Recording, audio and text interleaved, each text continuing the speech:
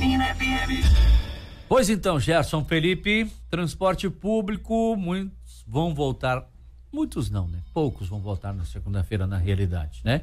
Outros, Florianópolis, por exemplo, não vai voltar na segunda-feira, mas algumas cidades como Criciúma parece que volta, Lages parece que volta, mas a nossa preocupação é aqui, né? Balneário Camboriú, Itajaí, Itapema, são municípios todos interligados na realidade. Se um volta, o outro tem que voltar, senão como é que faz, né? Como é que está essa situação, você que acompanha esse trabalho hoje? Bom, Adilson de Souza, a gente tem além também de, de Lages e Criciúma, Joinville, um dos maiores municípios, o maior município, na verdade, de Santa Catarina, que já está se preparando para a retomada também a partir da próxima segunda-feira. Mas Balneário Camboriú não terá o retorno do transporte coletivo já na próxima segunda-feira, dia 8. Essa informação foi confirmada emergencial uma outra empresa para realizar esse serviço. Mas a gente vai ouvir agora o prefeito Fabrício Oliveira, que fala então que o transporte coletivo. As condições da empresa voltar, né? E que condições seriam essas, é, de que maneira nós podemos ou não subsidiar. Isso precisa fazer um encaixe.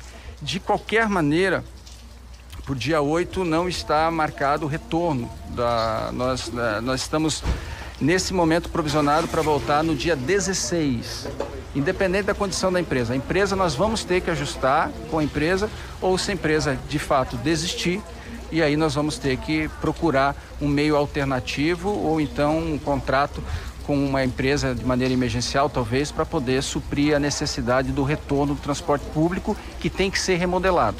Não é de agora isso, o transporte público já não estava é, é, a, a contento. Então precisa ter agora um transporte público entendendo que né, existe toda uma gama de necessidade de transporte e que essa agilidade, praticidade, preço, comodidade, ele tem que estar num novo projeto estruturado, onde também, independente de qualquer coisa, é, se for a empresa Expressu ou não for, nós precisamos alinhar. E nós esperamos né, que possamos tirar o setor jurídico de cerca de 400 mil reais e mais um valor de um milhão para repor os prejuízos da parada da pandemia. Como é que a prefeitura analisa esses valores? É possível um subsídio nesse valor? Nesse valor não será possível sem poder enquadrar nenhum novo sistema a ser implementado.